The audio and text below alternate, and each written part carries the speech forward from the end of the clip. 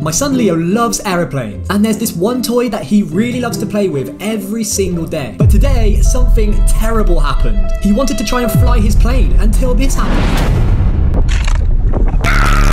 I tried for hours to try and fix it, but nothing worked. So then I decided to surprise him. Leo, don't worry. If everyone subscribes right now, I'll get you a real life aeroplane.